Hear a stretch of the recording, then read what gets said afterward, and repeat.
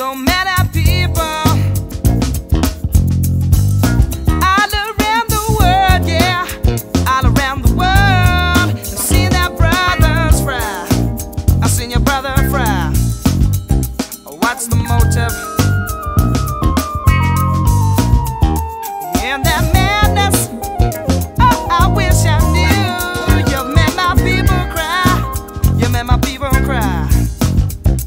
politicians.